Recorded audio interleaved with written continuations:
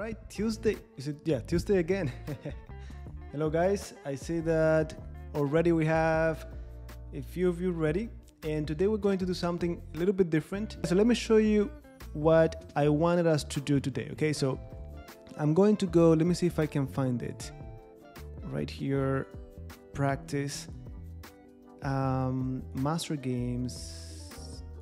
Let me do classic. Okay, so I remember we did one of these already. So basically, we click on it and they basically have us guess the moves, right? So in this one, for example, you know, they give like some information here and you have to play accordingly and so on. So I want us to do uh, one or two of these together, see how well we can assess the positions, if we can come up uh, with the right moves, make the right practical decisions, because this is what's gonna happen in our games, right? So let's see how that goes. Let's try to do it together. Let me go back because we did that one already.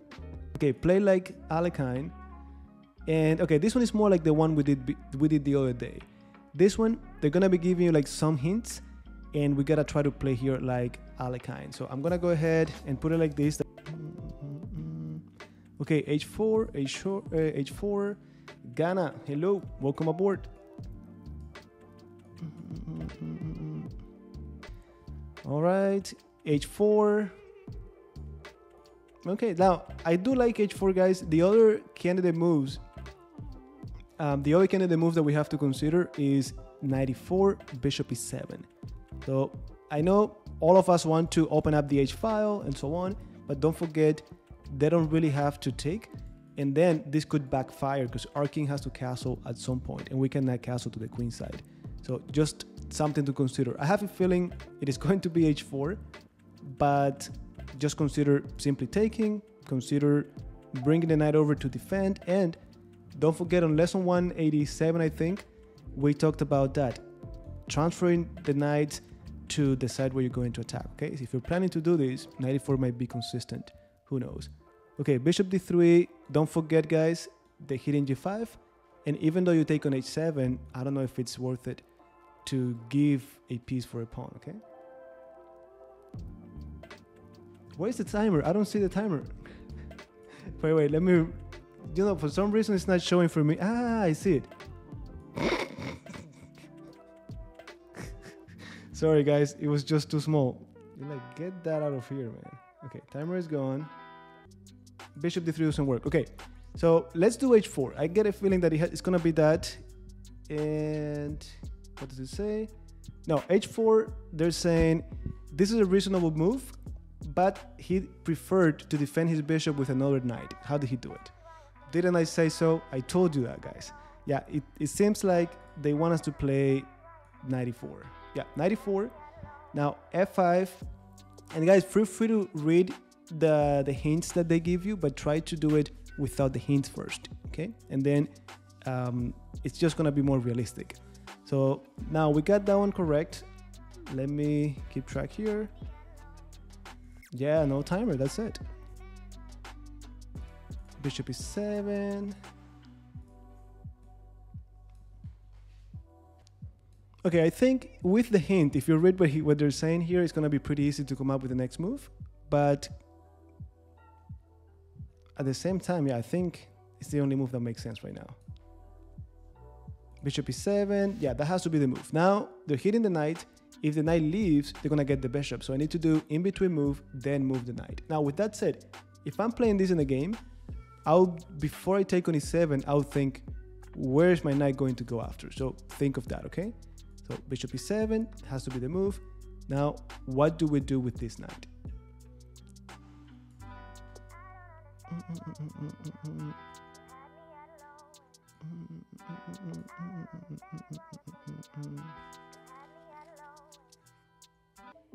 Retreat, be specific. Okay, knight g3. I like knight g3.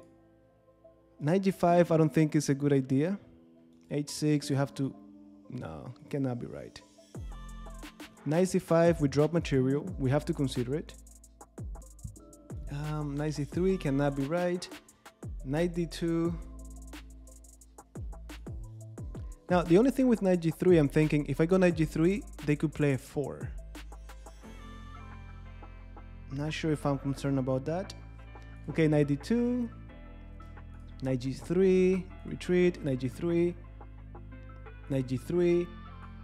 All right, so if I'm playing this in a game, I'll be between definitely knight g3 and knight d2, just for the sake of this f4. Right now, it doesn't seem to work, but maybe in the future it does. I don't want that trouble, so I'll just go back and then find a way to bring the two knights to, to the center. So knight e5, knight f3. At some point, they have to move this knight if they want to improve the bishop. So maybe knight d2, knight e5, or even knight d2, knight b3, knight c5. I'm just thinking, where's my knight going to be better for the future, right? So knight d2 is my vote, offer a draw. Yeah, you're right. In the Ruy Lopez, we bring the knight uh, around to g3. Very good. Okay, guys, so I'm gonna go with, okay, let me go knight d2. Yeah, that's the move.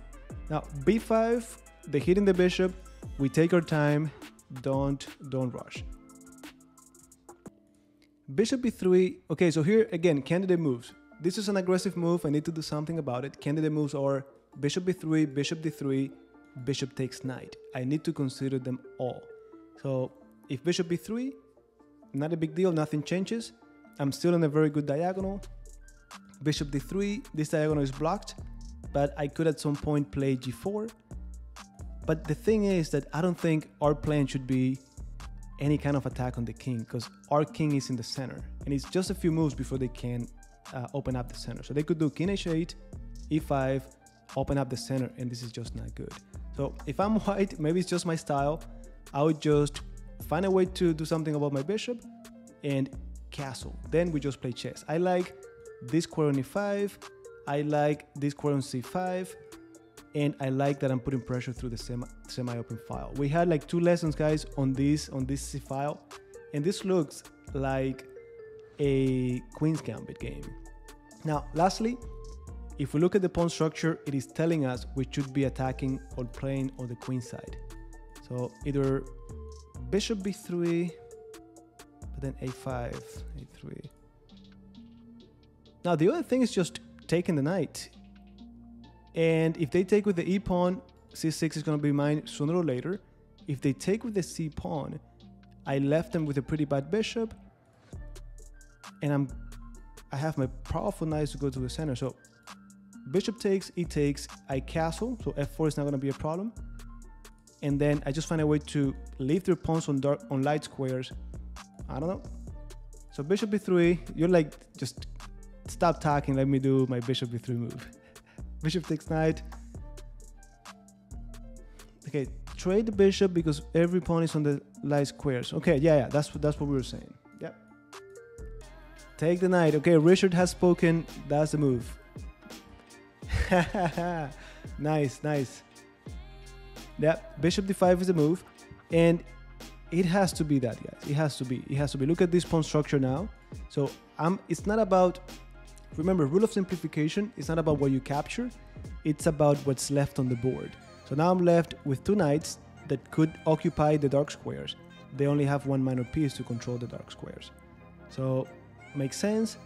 Um, okay, white pieces to move. This next move to be a gift, but we could easily just do something else in a real game. So take your time, white pieces to move. You saved us.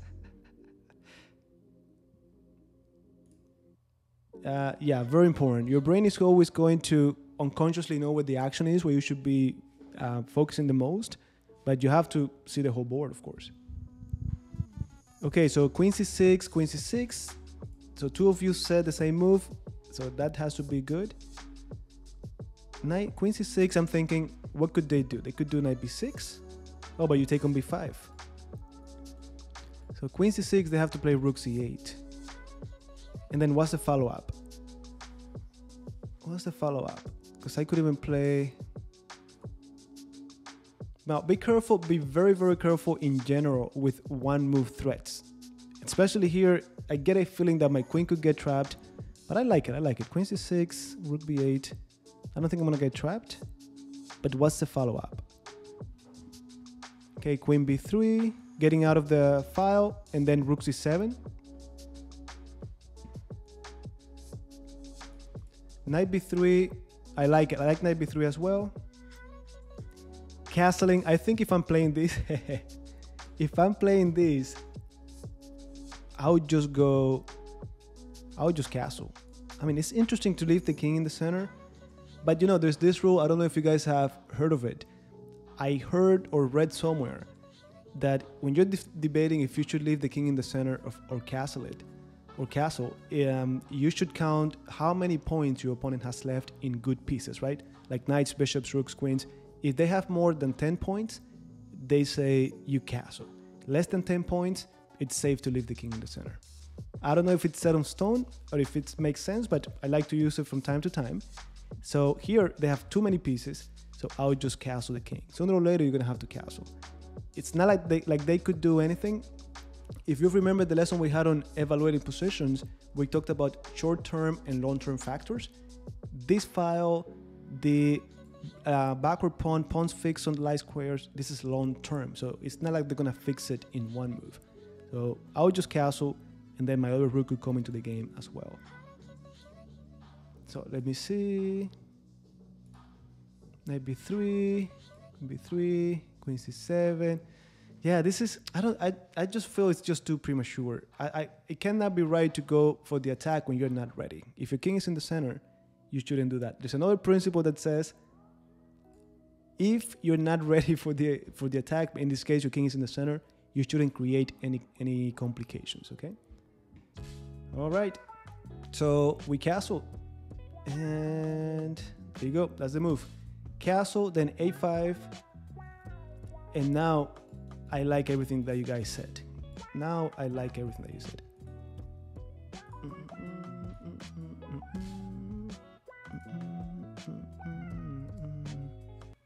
Knight b3, knight c5. 95 cannot be right. 95 is just premature. Knight b3 right before they play a4 makes sense. Okay, let's try a4. Okay, I want to try a4.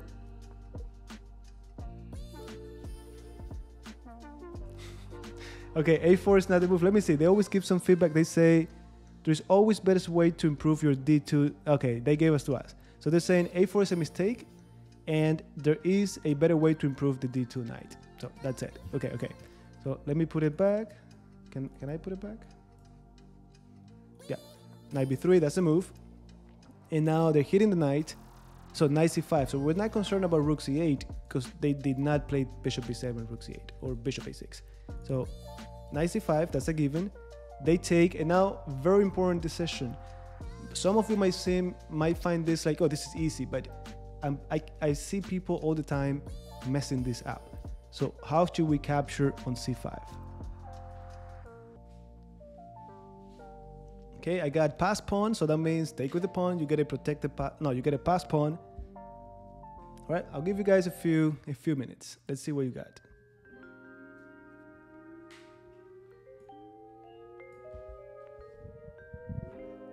And by the way, this is something that I learned. I finally got got under control a little bit late, I would say. Queen, queen. Move the rook to e1. We're down a knight. We gotta take that knight. Hello, hello, hello. yeah, right? Who would know the answer to that? Do we take with the pawn or do we take with the queen?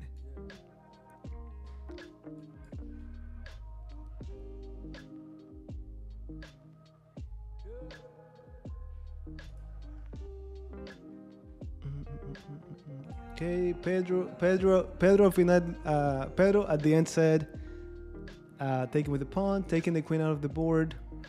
Black be better with the bishop knight. Queen takes c5, queen, queen c7. Okay, take with the pawn. Okay, so let's talk about this, guys. And I might be wrong, but let me tell you, this is, this one was a reflex. I didn't have to think about it because I've messed it up before, and I finally understood the idea. So, when I was first getting started, anytime I would say take with the pawn. This is a pass pawn. But then, as I started to learn more, I realized a pass pawn, especially if it's not a protected pass pawn, doesn't mean it's not as powerful as we think. Why? They could block it, and that's the end of it. It's gonna get stuck there. Then when you take with the pawn, your opponent is to play e5, powerful center, e4, f4, and before you know it, you get checkmated and that pawn didn't lead to anything. So that's something to keep in mind. Instead, we keep our opponent without any counterplay. We take with the queen, we continue to control the file. Again, if we go back, I think it's lesson 137, we talked about evaluating positions, short-term factors, long-term factors. Having control over an open file, having a powerful knight in the center is long-term. So this is just, you cannot go wrong with that. And the best thing about this is that your opponent doesn't get any counterplay. Now, with all of this talk, now probably the move is d takes e5, but this is the logic that I try to follow for the most part. I hope that does make sense. I hope that that, that makes sense. Uh, let me see. Okay. And then Roberto said, without the queens, maybe the bishop is better. If you visualize this, this bishop is never going to be better. It's just blocked by its own pawns. My knight is going to be a beast on e5. So that's the reasoning behind it. Now, let me see. Exacto, exacto. Entonces, las negras que están ahí sin hacer nada, de pronto tienen un plan, ¿no? So, guys, um, what he was saying is that, that we just give we give control with the center, and I was saying that the black pieces that were had nothing, if you're playing as black, it's really painful. All of a sudden, you have a plan after they take on c5. Mm, okay, okay. Let's do it. That's the move. Perfect. Now, again, how do we take? Yes, we take with the rook. Only, only open file is ours, and the knight is coming to e5. Now, 95 with rook c1. I don't think there's a big difference. Or maybe there is. Okay, I'll go with rook c1. This one I'm not even going to ask you because I don't think it's a big deal. Yeah, rook c1, 95. Yeah, these moves are just whispering to be played. Now, rook c7. I like rook c7. Yeah, why not? Does this make anything any sense? Yeah, I like I like rook c7. Exactly, exactly. That's just a monster where it is. Now, again, I mean, still, we can easily blow this. We could easily ma make mistakes, right? So, rook c7, I'm thinking, is there any other candidate move? I looked into this, doesn't promise anything. Rook c7, what could they do? Rook b7.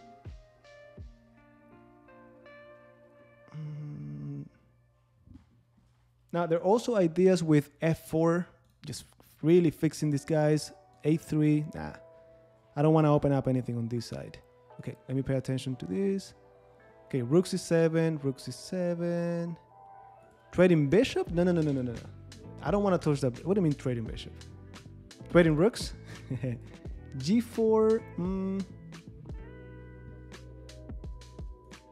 Thank you, sir. By the way, we are actually on YouTube. Guys, those of you who are not familiar, um, we have a YouTube channel that is basically a course, step by step. Lessons are numbered. We have already over 190 lessons out. So just check it out, okay? Same name that we have on Twitch. Rook c7, rook c7. Yeah, we cannot go wrong with rook c7. Yeah, other candidate moves. This f4, someone mentioned g4. I don't think it's time for that yet. Mm, no, didn't like it. They didn't like it. They didn't like it. So they're saying this is a good move, but he preferred to move a pawn to help him centralize his king. How did he do that? Okay, okay, okay. Okay, they're saying no rush. Let's improve the king. Now let me see if I put that back. Perfect. All right, makes sense. Another uh, principle, guys, that maybe you're not familiar with is that when we get to an endgame and we need to activate pieces, let's say we have rook, knight, and king, right? And they are back here. I think we have a short on this on YouTube, but basically you want to activate your pieces by order of how valuable the, value, right? So the rook is five points, the knight is three points. How many points do you think is the king in the endgame? Does anyone know? Like we learned it's infinite, no points, but we actually have a point value for the king in the endgame based on how useful the king is. So if you know it, let me know in the comments, okay? All right, f3. Yeah, I like f3. I'm between f3 and f4. f3 is more flexible, to be honest. Mm. Exactly, yeah, 3.5. So the king is going to be 3.5. So if I have to decide between do I activate the rook first, the knight or the king, I would start with the rook, then the king, then the knight. And then I look at the pawns and, and so on. Okay, king f1. King f1. No, no, look, they said you have to move a pawn to centralize the king. And um, besides, this is not even possible, Roberto. What's going on, Roberto? So f3 f4, I like the flexibility of f3. So yeah, that has to be the move. Now, this is a no-brainer. No counterplay for your opponent. I'm not gonna take to allow them to activate the rook. So we just keep it fixed. That's it. And pawns on the same color as the bishop. In contrast, our pawns can never be attacked by that bishop. So h6. Now, should we activate the king or rook c7? Okay, let's activate the king. Rook c7.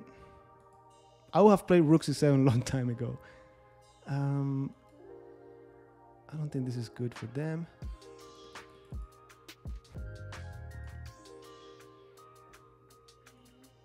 All right, let's go with that. Okay, we're, we're gonna go with that. If it's wrong, it's wrong. And besides, at this point, I don't think any of these moves is gonna be wrong. It depends what he wanted to do at the moment he was when he was playing the game. So let's go with Rook C7. No, okay. So let me see what they say. This is a good move. You see, it's a good move, but he preferred to gain space with a pawn move. Okay, so we're gonna gain space with H4 then. Yeah, that's it. Gaining space. Now H5. No, no, wait, wait. How about Rook C7? Because I think Rook C7 all this time they did not play it because of rook b7 and we don't want to trade rooks right? So it has to be rook c7 now. No oh, come on. Um, king g3 oh king g3 king, king f4 makes sense. King g3 nice nice. Jose is in the house. Now king f4 king f4 h5 rook c7 ah rook c6 nice but you know, if I'm gonna do that, I'll do rook c7, and then the other rook that is doing nothing, I'll bring it to c6. But you know, I, I was not even considering the c6 square, at least not for a rook. Mm, okay, let me do h5. No, it's a blunder. There's a better move. Try to find a way to invade. Too bad you cannot read the whole thing, guys. It says try to invade the seventh rank. Again, I don't think the evaluation is going to be too different, but yeah, rook to the seventh rank now, bishop b5. That's another thing. If you're playing this in a, in a tournament game, by the time you get to this end game, you're probably already exhausted. So it's important that you double check and you try to drink some water, go to a bathroom, come back, because we cannot blow this. We know a better position, but it's very easy to blow it. Okay, rook c6 now, not safe. h5, nope. Now it'll be interesting to continue to work on the dark squares. Rook c5, maybe it's not the kind of move that they're looking for. Rook e7, dark square as well. Oh, but they could do rook e8. No, no, no. So rook c5, king f4, h5. h5, I think we've already tried it. So those will be my top candidate moves. Okay, let's go with queen f4, guys. So king f4, rook c5, or rook a7. Let's see. Nope. Okay, so it says this is a good move, Pedro, so we're good. Um, but he preferred to activate his c1 rook. How did he do it? Okay, so this time I got it. This time I got it. So rook c5. There you go. We activate the rook. Now king f4 or now h5. Okay, now it's the move that you guys said before. Rook c6, going after the weak pawn. Little by little, they keep grinding it. So rook c6, also, you're giving your opponent chances to make mistakes. So it has to be rook c6. There you go. Now this rook is tied up to the bishop, this one tied up to the pawn. Time to bring the king and the, and the knight. All right, guys, I'm gonna leave this one up to you. Would you bring the king? Would you bring the pawn? I keep saying the pawn has to come before the the king, but we'll see. Uh, like the pawn move, yeah, I think it's safe to go with pawn h5, knight g6. This is almost like Suk's one for the black pieces. No, good move. Now, the good thing is that every time we play h5, it's not a good move. Probably you could have done it, it's not gonna change anything. But they're saying he preferred to centralize the knight first. How did he do it? Centralize the knight? Mm-mm. Oh, we pro- did we improve the king first? Okay, king f4. Okay, okay, guys. I, I misread before. It was not centralized the knight, then I was already centralized. Centralized the king. My bad. Okay, so anyways, king f4 was played, king g8. We continued from here. Take your time. Come on. Now here, there's only one move that makes sense. Only one. Come on. Yeah, this has to be the move. Hello, hello.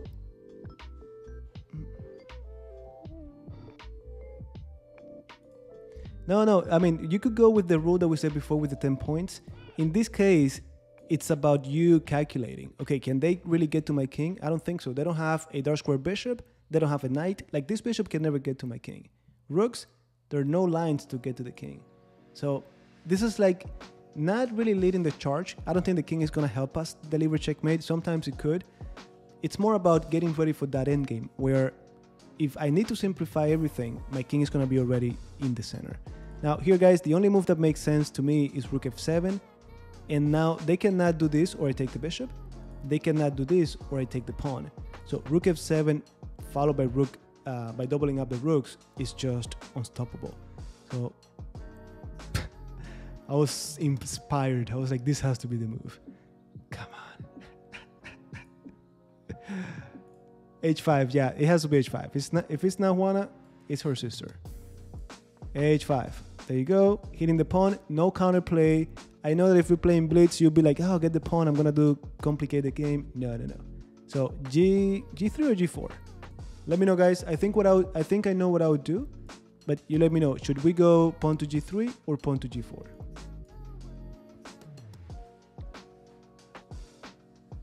Yeah, Sux one, Sux one. Nice, nice, nice.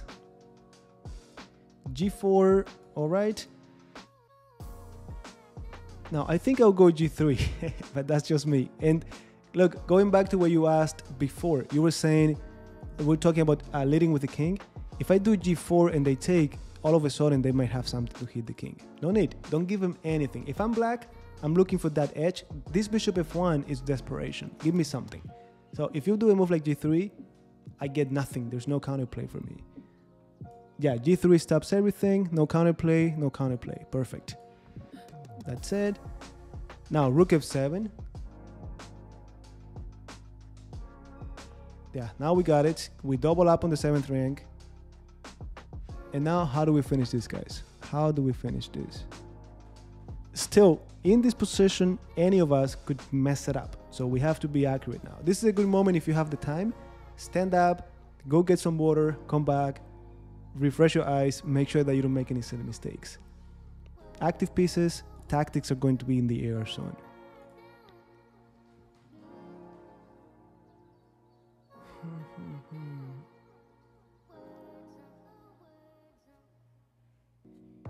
Okay, uh, okay, 97, 97, rook g6. No, okay, knight g6, knight g6. Yeah, I like g4. I mean, I thought of g4, but again, they take all of a sudden rooks could just go rook f7, I mean rook f8, pinning the rook to the king, and I don't want to help him. I don't want to trade anything. Look at these rooks; they're just too good to trade them for these bad rooks. Um, knight g6. Hmm. Now, knight g I think it's 96 or 97. Which one is better? Now, think of, imagine the knight on g6. What could the knight go after? Think of the knight on d7. If you remember lesson 188, I think, we talked about this. If you're in a critical moment like this, something that I like to do sometimes is imagine, pretend like you have two, three moves back to back. Like you play that your opponent cannot do anything. What would you do to go after the king? Now, I like knight d7, knight f6 and maybe with some ideas of checkmate with knight and rook. I like that better. Knight g6 seems powerful, but I'm not sure what we're gonna do after. All right, hello, hello, John. Is still haunting now? okay, so Richard said it. We go for it. That has to be the move. And now, okay, this I see the I see the the the final moves already. I know how to win this now. Let's see if you guys can see it. Let me know. Knight f6, beautiful move. Knight f6, if they take mate. Now, is this forcing? Well, we're hitting the rook too, to be honest. So yeah, knight f6. if they move the rook, we just take. Now, what if after knight f6, they move the rook, we take the pawn, they take over here. Okay, try to visualize that. Try to do that in your head. Knight f6, rook f8, rook g7, rook takes. I'm gonna give you a minute to do it in your head, then we do we actually play it out on the board, okay? you see it. Okay, I'll, I'll give you guys a minute. Let's see who can find it without moving the pieces.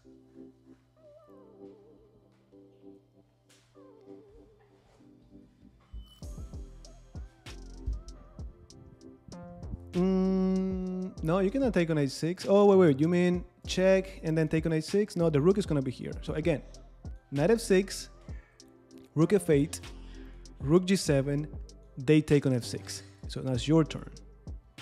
Ah, that's it. That's it. That has to be the move. And then we're hitting the rook. The rook can only go back or bring the other rook. Whatever the case is, I'm going to have check and then checkmate. So maybe we're wrong, but this has to be it. There you go. Now, if I just go check, check, the king goes away. Well, maybe that works too, and then king e5. But king e5 has to be the winning move here. That's it. Check and checkmate. We got it. All right. So, guys, now you know how to find this. One more time, you go to, let me see, was it, okay, practice then you go to Master Games. You could choose either World Championships or Classic Games, and well, you pick from here. Okay, no challenges coming in, so that means no one is up for a game. That's fine. Okay, I got two now. And okay, let me take this one here. Black pieces. Okay, let me see. No increment. Okay. Mm. Let me just make sure we're good. Very good.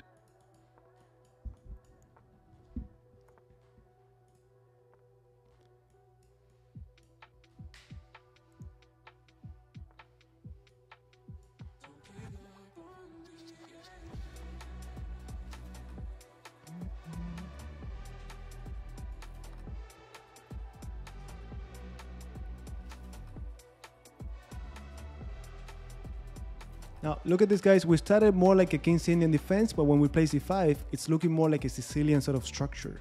So we have to be aware of that. Mm. Now, backward pawn, but I think we're going to be able to do something about it. Yeah, drop it here, and if you don't mind, drop it on Okay, drop it here. Drop it here in the not in the chat because I won't see it in the comments of the stream, and that way I can because this video probably I'm gonna take it down and then edit it and put it back up, back up. Then I could just throw it in there after. I could even put it in the video if you like. So the way it's there forever. Okay. Mm. Okay, so now this is getting interesting.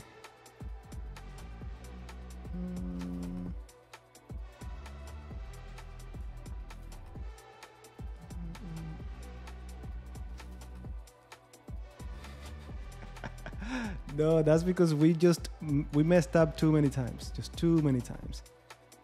Okay, can we just play 65? Okay, me just go knight c6. Now my opponent is playing perfectly, just putting pressure on d6. Maybe I shouldn't have. Maybe I shouldn't have played e5. I thought I could play d5 sooner. I don't think it's gonna happen. Not today. Mm.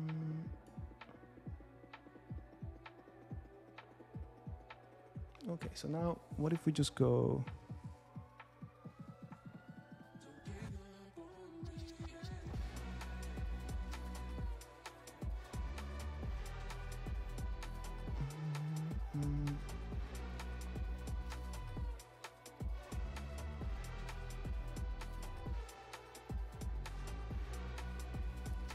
Yes. Now, for me, guys, look at this. I'm probably gonna lose the pawn, so my only chat here is counterplay. I need to create some counterplay.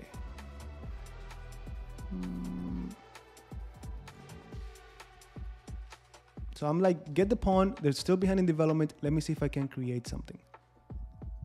Let's see.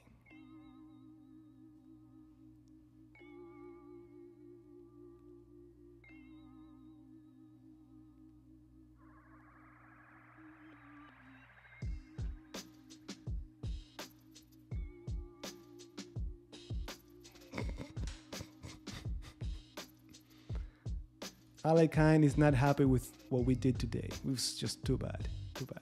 Now, guys, honestly, most of the moves that we missed, they were good moves anyways. It was, it's not what he played, but okay, this is a free knight, so it looks like they gave us something at the end of the day. Okay, we're up a piece now. We're the ones who want to simplify the game. No counterplay for our opponent, right? Um, okay, weak pawn. Let's go for it. They gave us an edge. Now we're gonna play like like a grandmaster. Well, we're gonna try to activate the pieces.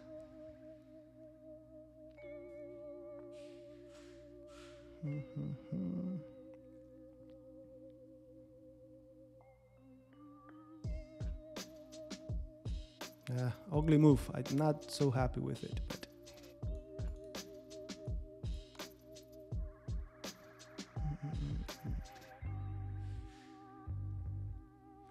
If they go up, we could take with check and then we're back.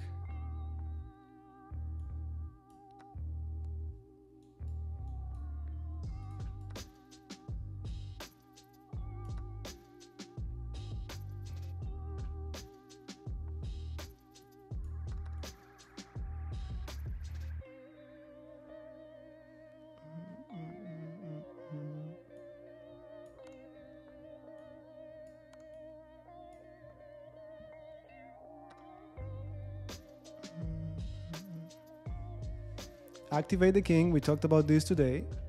Thank you, Mr. Alekhine, or Alekin, however you pronounce it.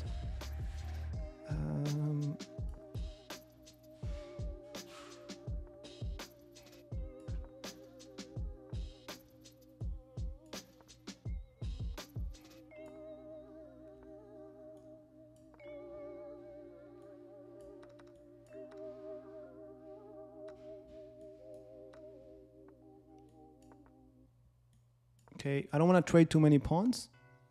Not too many pawns. Okay, so 95.